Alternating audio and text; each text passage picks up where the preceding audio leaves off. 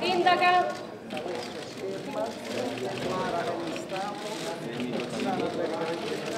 Valerio capo è già riuscire a toccare con mano qualcuno che ce l'ha fatta, possiamo dire che avete già raggiunto un ottimo risultato, insomma arrivare alle Olimpiadi è già un risultato, certo adesso la strada salita, questo è da dire, no?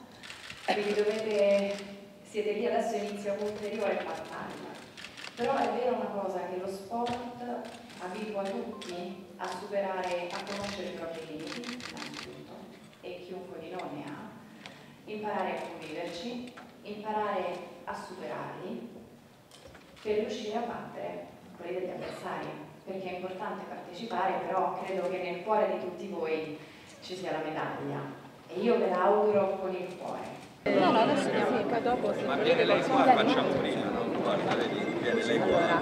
Ma come fai a farlo? Perché guarda un attimo, grazie. Grazie mille. Guardate noi. Grazie. Grazie.